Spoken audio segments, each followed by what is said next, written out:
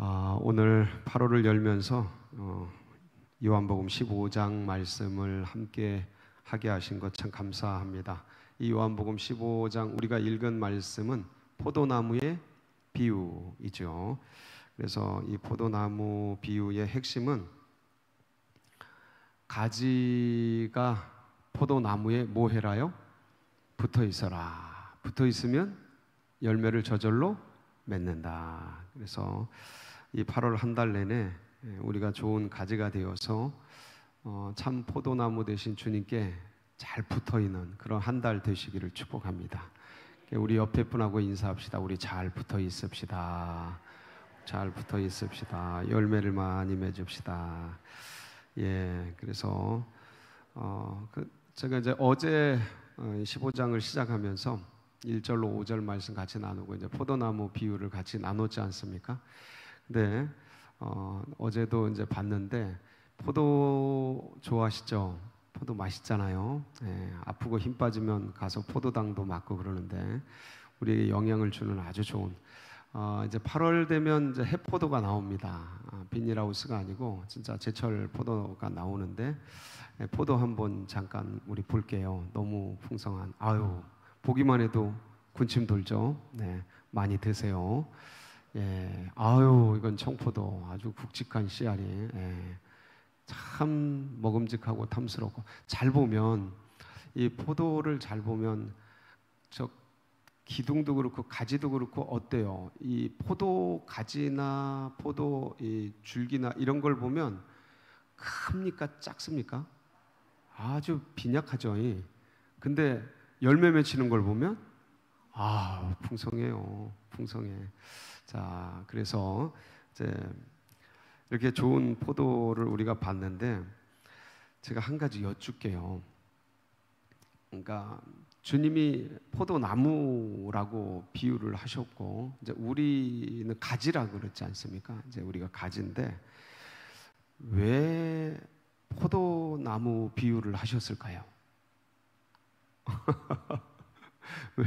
포도나무 비유를 사과나무도 있고 뭐 귤나무도 있고 그다음에 배나무도 있고 수많은 어, 과일 나무가 있지 않겠습니까? 근데 왜 포도나무일까? 왜 포도나무로 비유하셨을까? 우리를 그 가지로 이제 비유하셨잖아요. 왜 그러셨을까? 제가 어제도 이제 비슷한 말씀을 드렸는데 포도나무는요, 특히 가지는 쓸 데가 없어. 한번 예, 포도나무 잎 떨어진 거 한번 보실까요? 예, 이게 이제 가지들이거든요. 가지들. 저 잔 가지들이 저거는 어디다 회초리로도 못 써요. 저거는 예? 울퉁불퉁해서 회초리로도 못 써. 다음 장면을 보면 이게 이제 가지들이거든요. 예. 그러니까 저거는 화목용 땔감으로도 뭐 저거 예 저건 쓸려나 말려나 하여간 좋은 것들이 많으니까 관상용으로도 저건 볼품이 없어서 예, 멋있는 소나무 뭐 이렇게 작품이 나와야 되는데 이건 지 마음대로 가기 때문에 저건 쓸모가 없어요. 그렇다고 저거 이제 목수분들이 제목용으로 쓰기 쓸 수도 너무 얇아. 예, 저 가지들이 쓸데기가 없어. 그, 그 왜 포도나무 비유를 하셨을까요? 여기에 답이 있죠? 우리가 가진데 쓸 데가 없어. 쓸 데가 없어. 예, 우리 스스로를 한번 잘 보세요. 아, 참, 우리가 주님 만나기 전에 이거 이거 어디 쓸 데가 있었나? 인생이 어디 쓸모가 있었나? 근데 저 가지가 저 쓸모없는 가지가 포도나무에 주님께 붙어 있기만 하면 아까 그 열매 봤죠? 뭘 맺어요? 열매를 주렁주렁 맺습니다. 기가 막힌 거 아니에요? 그 얇디 얇은 비틀비틀 지 맘대로 가고 뭐 쓸모도 없어요. 생각을 해봐요. 저건 진짜 어, 불쏘시개나 쓸까? 쓸데기가 없는 거예요. 그러니까 아무것도 할 수 없는 그 가지들을 거기 포도나무에 붙어 있다라는 이유 한 가지만으로 주님께서 열매를 어, 진짜 전 신기한 거예요. 주렁주렁 맺어.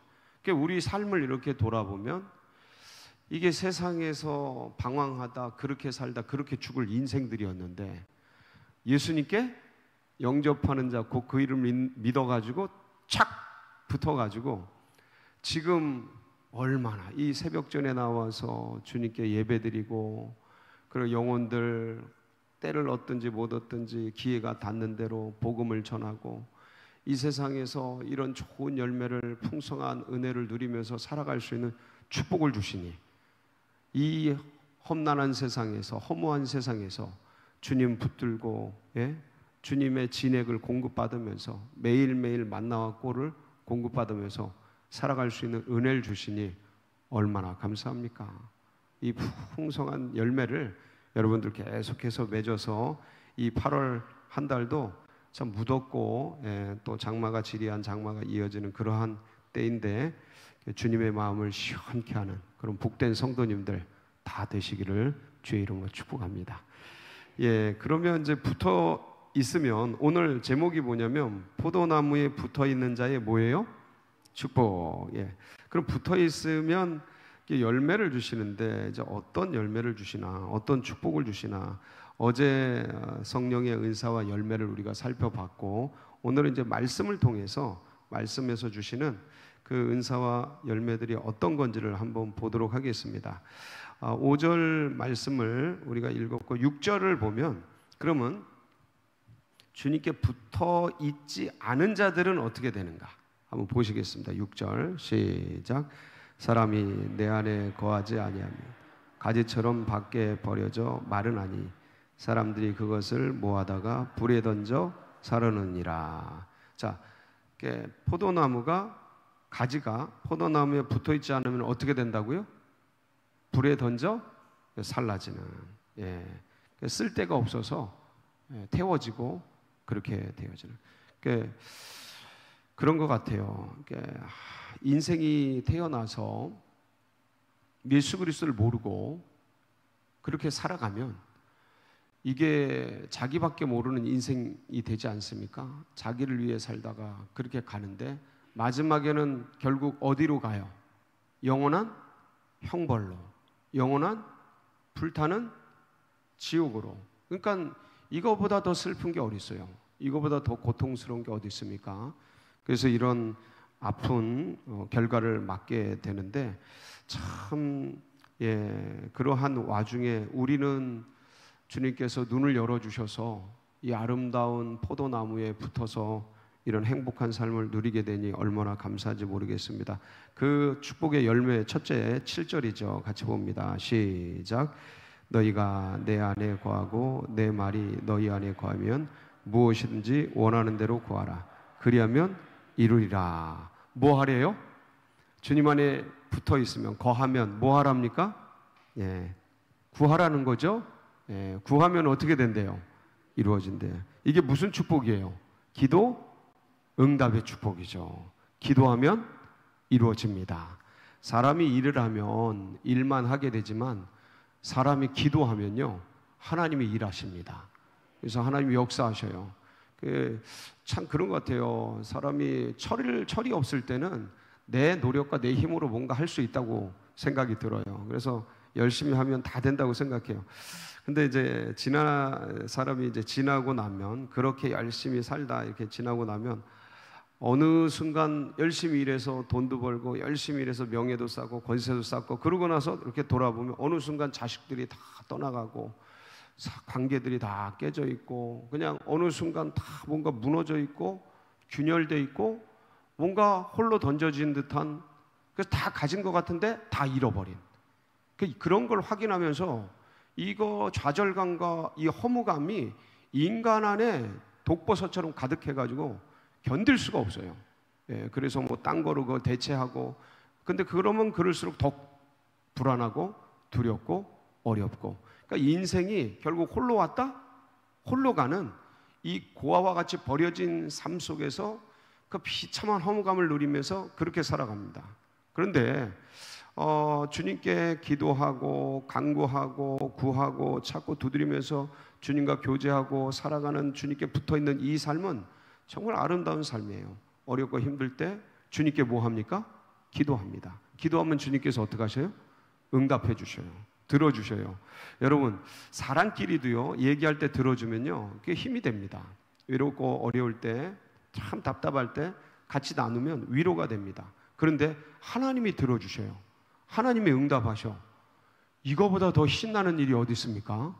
이 외롭고 풍진 세상에서 하나님이 내, 음, 내 말을 듣고 내 음성을 듣고 내게 귀를 기울여 주시고 나의 이 깊은 신음소리에 같이 응답해 주신다는 이 은혜, 이 소망, 이 기쁨, 이걸 누가 빼앗겠습니까? 여러분 잃어버리지 마시기 바랍니다.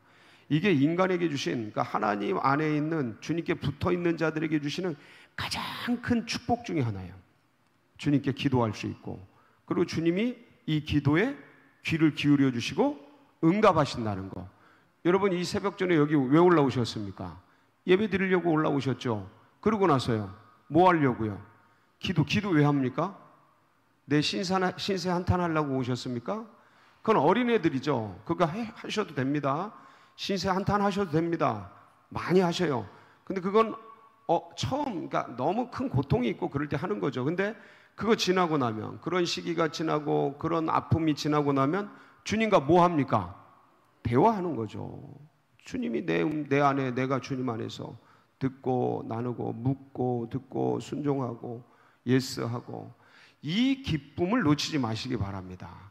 그러니까 여러분, 이 자리뿐만 아니라 여긴 집중적으로 하는 것도 이제 살아가면서 생활 속에서 늘 주님과 묻고 듣고 대화하면서 살아가는. 그래서 약간 좀 아, 어, 저 사람 저거 뭐지? 약간 미친 건가?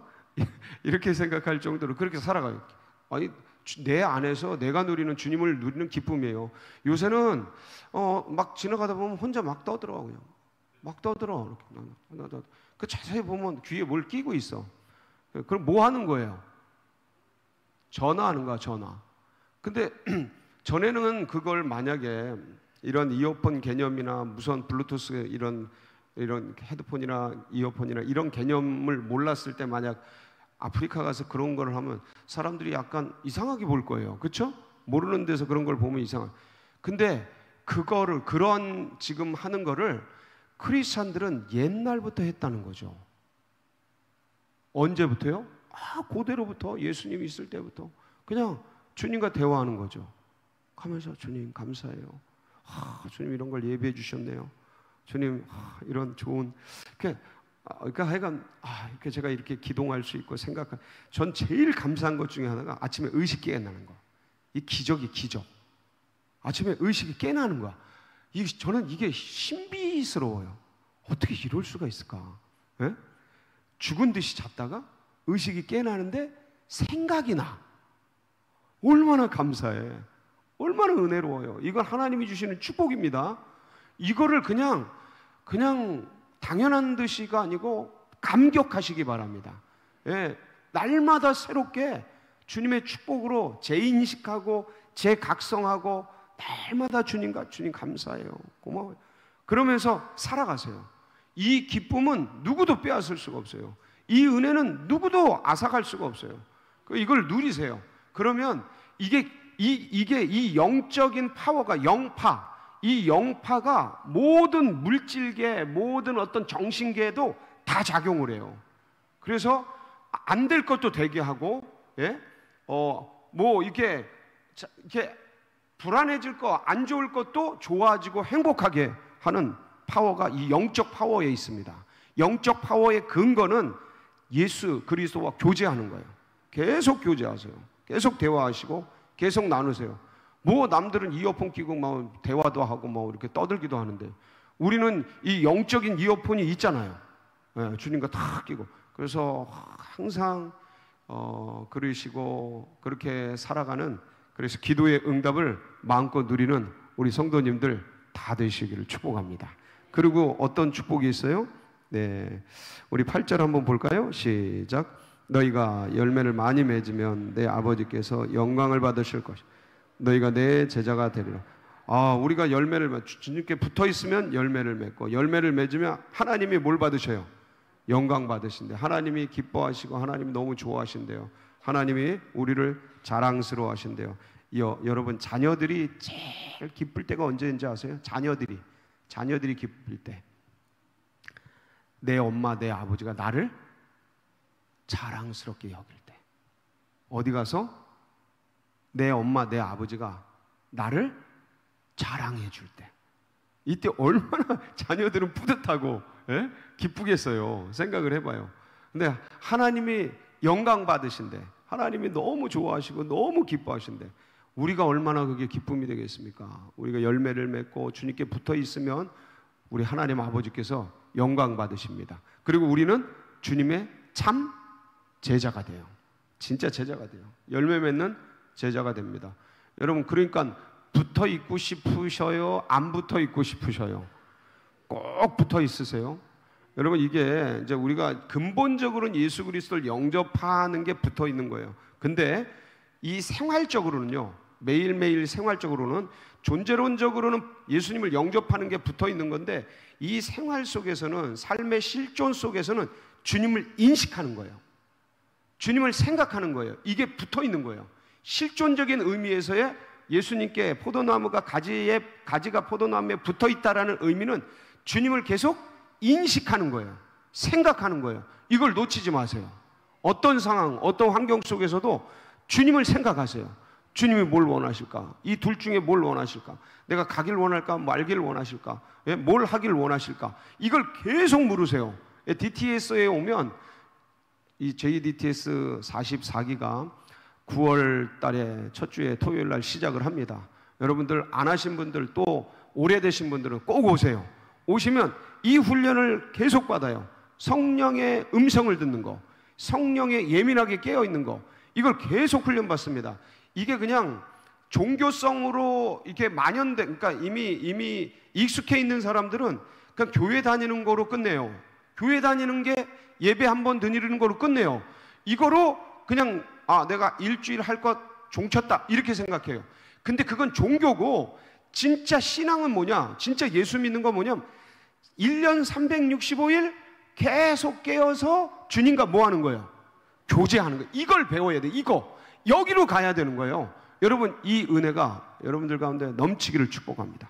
계속 교제하면서 주님과 나누면서 그래서 주님의 이 사랑과 은혜가 이번 8월 한 달 내내 넘쳐서 풍성한 열매를 맺는 그런 복된 8월 되시기를 주님의 이름으로 축복합니다. 같이 기도하시겠습니다.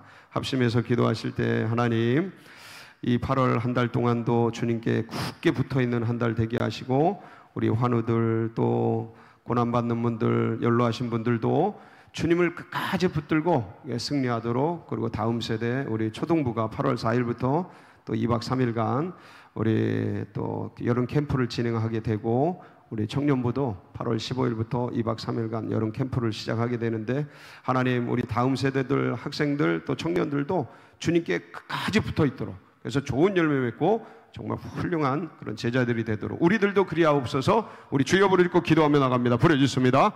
주여 주여